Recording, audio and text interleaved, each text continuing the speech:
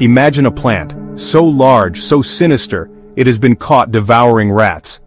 This is Nepenthes attenboroughii, a giant pitcher plant found only in the highlands of the Philippines. Its mouth can grow over a foot deep, filled with liquid that smells like nectar but acts like acid.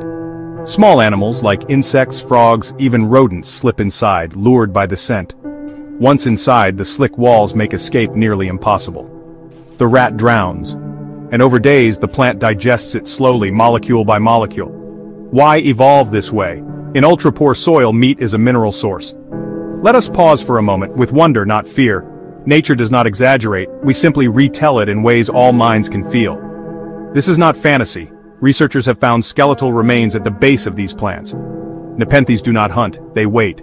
Quiet, brilliant, lethal. A green assassin. Evolved by stillness, not speed. If this awed you, share the strange. Subscribe for more truths like this from the Chronicles of the Curious Earth.